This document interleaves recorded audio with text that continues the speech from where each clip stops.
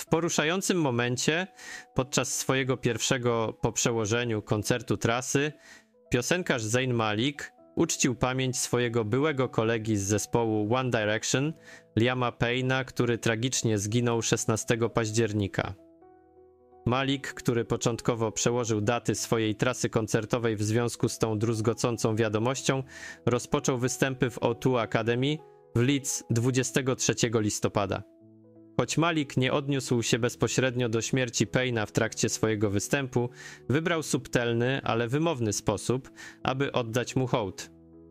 Gdy kończył koncert, na ekranie pojawiła się duża projekcja z napisem Liam Payne 1993 2024 Kocham cię bracie oraz symbolem czerwonego serca, jak donosi The Telegraph. Ten gest głęboko poruszył fanów obecnych na koncercie, z których wielu było wyraźnie wzruszonych tym serdecznym wyrazem pamięci. Przedwczesna śmierć Payna nastąpiła 16 października po upadku z balkonu hotelowego pokoju w Buenos Aires w Argentynie.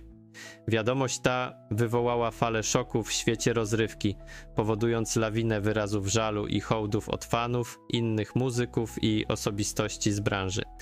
Po tym tragicznym wydarzeniu Malik opublikował na Instagramie bardzo osobiste i emocjonalne oświadczenie dotyczące jego relacji z Paynem.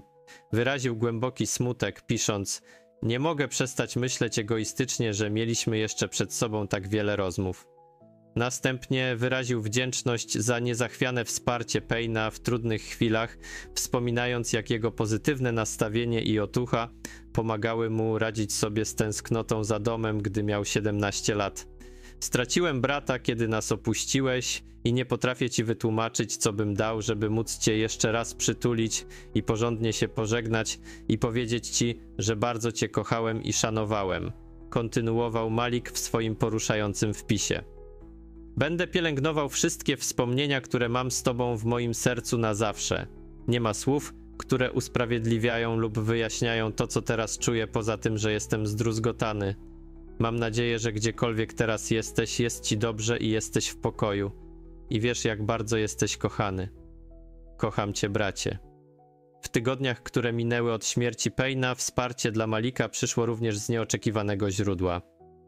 Osoba bliska redakcji Page Six ujawniła, że była partnerka Malika, modelka Gigi Hadid, kontaktowała się z nim i oferowała mu wsparcie w tym trudnym okresie.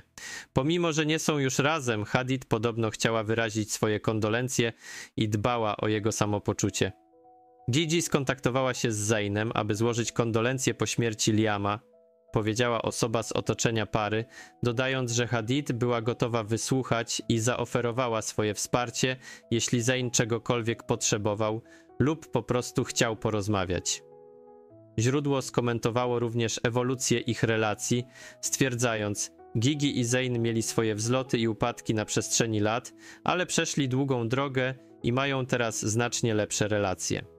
Hadid i Malik mają córkę, Kai, która urodziła się we wrześniu 2020 roku. Koncert Malika jest świadectwem trwałej więzi między członkami One Direction i ogromnego wpływu, jaki Payne miał na ich życie. Oczekuje się, że w trakcie trasy koncertowej Malik będzie nadal nosił w sercu pamięć o Payne, zarówno na scenie, jak i poza nią.